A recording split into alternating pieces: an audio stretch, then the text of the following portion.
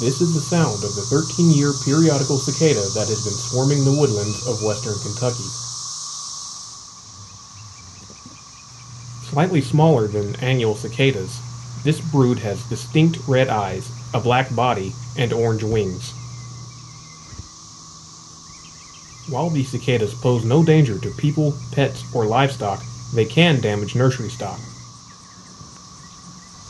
The cicadas inject their eggs into the underside of small branches.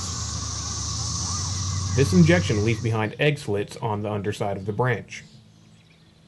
These branches later die back and fall to the ground, allowing the cicada nymphs to enter the soil.